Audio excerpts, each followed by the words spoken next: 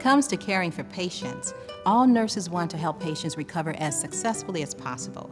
And we want to ensure the five patient rights right patient, right drug, right dose, right route, right time. Technology plays a big part in reaching that goal.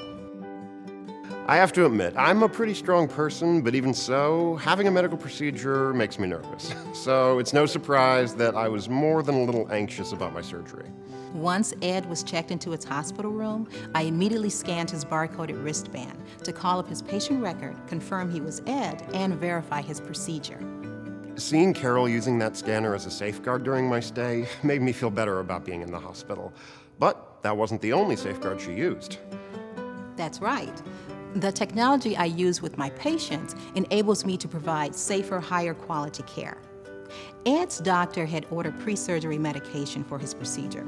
I was able to scan the meds and compare that to Ed's EHR to confirm there would be no interactions with other meds he might be taking. Right before the surgery, the doctor came in and detailed what my procedure would involve, and he even brought up a video on my bedside tablet. That definitely put me at ease. During surgery, Ed's vitals were relayed to his EHR and displayed on a mobile cart monitor. They were rechecked and recorded post-op while Ed was coming out of sedation. Once Ed was back from recovery and settled in his room again, I asked him to use the in-room tablet to rate his pain scale and answer a few simple questions to make sure he was fully awake and that his cognitive functions were back to normal. I was back to normal. All right, or as normal as I get.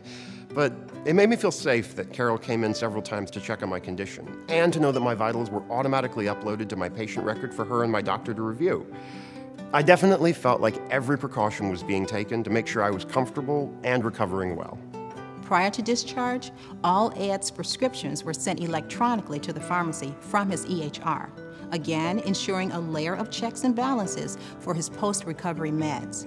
And as part of his discharge protocol, Ed was given a list of apps to download at home to help him remotely monitor his condition. The apps on my tablet reminded me when to take my meds, scanned my vital signs, and gave me access to my online patient portal, where I could make follow up appointments, view test results, get reminders, and send my doc secure messages with any questions. How's that for peace of mind? And knowing everyone really is looking out for my best interests. And the best part? Technology made it all possible. Those same technologies we used in Ed's room for his post discharge care are used in other areas of the hospital, including the ER, the OR, and the pharmacy. Today's mobile technologies definitely secure and enhance the patient experience. For more information on how to leverage mobile technology for a more secure patient experience, contact CDW Healthcare today at 800 500 4239 or visit cdw.com slash communit. Enhanced patient experience brought to you by Cisco, Lenovo, and TigerText. Orchestration by CDW.